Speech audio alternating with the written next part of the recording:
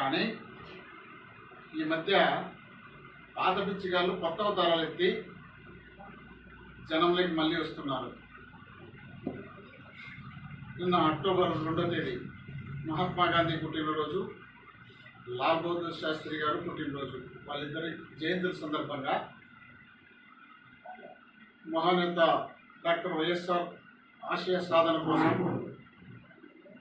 మన ప్రియతమ ముఖ్యమంత్రి మనందరి ముఖ్యమంత్రి జగన్మోహన్ రెడ్డి గారు.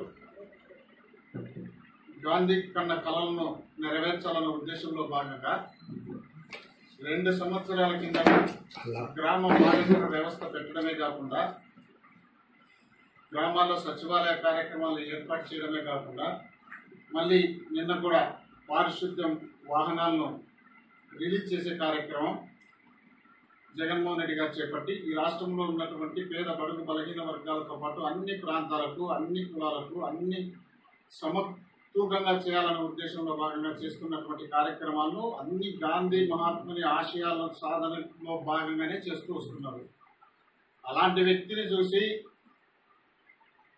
పులిని చూసి నక్క వాతలు పెట్టుకున్నట్టు ఆయన ఒక ఆయన పవన్ కళ్యాణ్ అంట. గాంధీ మహాత్ముడిని ప్లస్ లాల్ బహదూర్ శాస్త్రి గారిని ఆశయాలను పరిగణలోకి తీసుకొని వాళ్ళ ఆలోచన విధానాలను అమలు చేయాలన్న ఉద్దేశంలో భాగంగానే ఆయన ఒక పార్టీ పెట్టాడట. చూస్తే ఎవరన్నా నవ్వుతారు అనిపించడం లేదేమో పవన్ కళ్యాణ్కి అర్థం కాలేదు కానీ మీరు పార్టీ పెట్టి మీ పార్టీని తెలుగుదేశం పార్టీకో బీజేపీ పార్టీలో పార్టీకో ఎన్నికల సమయంలో తాకట్టు పెట్టి మీరు తాకట్టు పెట్టడమే కాకుండా మీ పార్టీకి ఉన్నటువంటి సింబల్ను కూడా పోగొట్టుకున్నటువంటి చరిత్ర మీ పార్టీది అయితే మీరు మహాత్మా గాంధీని లాల్ బహదూర్ శాస్త్రి గారిని ఆదర్శంగా తీసుకున్నారని చెప్పుకుంటే అసహ్యంగా ఉంటుంది అనేది అన్నా మరి పవన్ కళ్యాణ్ తెలుసునో లేదో తెలియదు కానీ అదేవిధంగా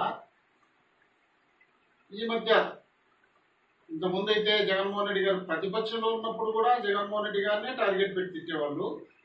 ఈ మధ్య అధికారంలోకి వచ్చిన తర్వాత కూడా జగన్మోహన్ రెడ్డి గారిని టార్గెట్ పెట్టిస్తున్నారు మరి ఏ ఉద్దేశం పవన్ కళ్యాణ్ ఉందో మాకు తెలియదు కానీ అధికారంలో ఉన్నప్పుడు అధికార పార్టీ ఏదైనా తప్పులు చేస్తే ప్రతిపక్ష పార్టీలు అది జీరో పార్టీనా హీరో పార్టీనా లేక ఒక సీట్ వచ్చిందా సీటే రాకుండా పోయిందా లేక యాభై సీట్లు వచ్చినాయా ముప్పై సీట్లు వచ్చినాయా ఇరవై సీట్లు వచ్చినాయా సీట్ల సబ్జెక్టు సంబంధం కాదు. పార్టీ పెట్టిన తర్వాత పార్టీకి సంబంధించినటువంటి అధినేత అనేవాడు ప్రతిపక్ష నాయకుడుగా సమస్యలు కానీ ప్రజలకు ఏదైనా అన్యాయం జరిగినప్పుడు అధికార పార్టీ చేసినప్పుడు దాన్ని ఎత్తి చూపించడం వాళ్ళ బాధ్యత అది. ఆ బాధ్యతగా చేయాల్సిన అవసరం అది పవన్ కళ్యాణ్గా చిరంజీవిగా లేక చంద్రబాబు నాయుడుగా లేక ఇతర పార్టీ వాళ్ళగా ఎవరికైనా ఉండ ఉంటుంది ఉండాలా?